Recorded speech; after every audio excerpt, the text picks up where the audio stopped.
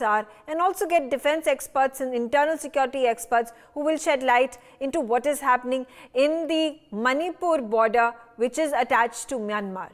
Major Muhammad Ali Shah, there is also this question about insurgency that has been raised. Now, the uh, Union Home Minister Amit Shah visited the border parts of the state and there have been barricading that has been done first to the 10 kilometers of the border state that is attached to Myanmar and the rest of the 80 kilometers are at this point in time are also being reviewed and there are being uh, implementation of actions that are being taken to barricade these areas as well and to put CAPF forces over there.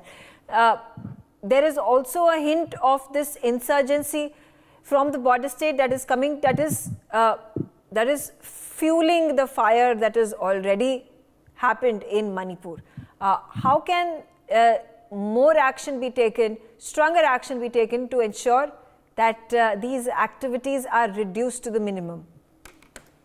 Thank you, Megha, for uh, asking me this. And firstly, I would like to say, in particular, hello to Sandra and to all my Manipuri brethren. And uh, good to see a cheerful face. I mean, I understand the very fact that it must be a, a difficult time for your family and your friends back home but yet you are maintaining a brave front. I truly appreciate that, Sandra. Now, having said that, uh, Megha, I will tell you, you know, uh, the fact that about our, the neighboring states of Manipur, uh, Burma, well, that factor was even there before 3rd of May. That factor, right from, I will uh, give you example of Tamu border. Tamu and More, there's a red and white bridge over there. And from More, you go on to Tengnoupal, to Palel, to Kakching, you go to Sorabasti, or you go ahead to Imphal, to uh, Mantripukhri, and then you go ahead further towards Jwalamukhi side, or you can move aside to Senapati or Sadanpur. The same issue of insurgency was there in any case. It was there before 3rd of May. Now, when there a new thing is coming out, our CDS General Anand Chauhan, he has been a sector commander in Manipur.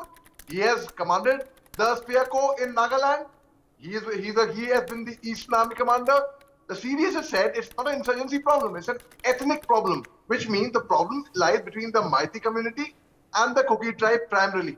Now, uh, it's all about the Meitei community trying getting an SC status, and uh, now the Kukis feel that they are not being protected.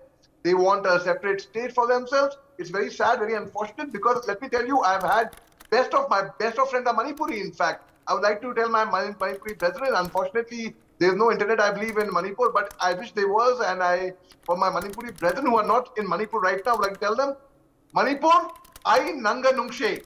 And it is, you know, it's such a fine state.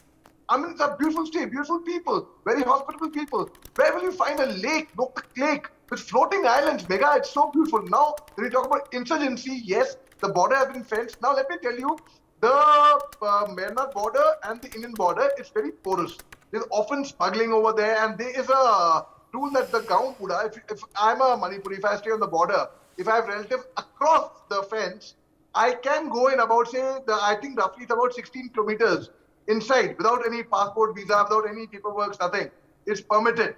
Now, the very fact is that issue was there even before 3rd of May. That the insurgency problem, a lot of people linked it to China, a lot of people linked it to Burma, a lot of people linked it to unemployment, to uh, poverty and such things. Well, all these issues were there even before 3rd of March. Correct. Uh, Major Muhammad Ali Shah, quickly coming back to you. Now, there are these list of demands that have been made by the Kuki community, by the Kuki tribes. They want the presidential rule to be imposed in Manipur at this point of time. Uh, they want Chief Minister uh, Biren Singh to be removed from his position. Uh, they at this point of time want a separate autonomous council which is going to be uh, uh, autonomously functioning with their own governor or with their own chief minister, so to say, with their own head, head of the state. Now, how many of these demands are feasible? Well, uh, Megha, it is very sad to see these demands, and these demands come from the part where they feel that they are not being protected in the state. Even the first demand, I would say, when they are asking for a separate land, Kuki land, to uh, move to a separate state, that itself, it breaks my heart to see any division. It really breaks my heart. Now the very fact is, how many of these demands are feasible? I, I felt if they were protected in the first place, these demands wouldn't have arisen. For example, it actually surprises me no end that thousands and th weapons go missing from Manipur Rifles commandos and people have no clue about. They've been raided. Manipur police is actually a very good fighting force. That's been my experience, be it in the army when I was there with the, the Northeast, be it when I was posted with the Assam Rifles. I, in fact, let me tell you a very, very interesting thing. When I was posted over there, because of the 2003 unfortunate, uh, allegedly, Manorama Devi rape case on the Assam Rifles, allegedly, that time, we, our image got a thrashing. So later on, when I learned the local dialect, I learned, learned the tribal culture, I learned the, the ethnic affinity, I would sit with them, I would go, I would travel with them, I would trust them. I would actually go out without a weapon and meet them in their houses. And people tell me, what are you doing? Why are you? I said, no, they are own people. They are own countrymen. They are Indians. I very much trust them. My life will not be in danger, not to worry. And that is how I actually could relate to them and become friends. Now, the very fact that when they feel that their interests are not protected, and anyone would feel that, if anyone would feel that their interests are not protected, they would feel threatened in that area. I would not be comfortable if I feel threatened in my neighborhood where I stay and I feel like they can I can be butchered anytime. So there is unfortunately there has been so much of bloodshed. The wounds are so deep from both the sides, from Meitei side and from community from Kuki side.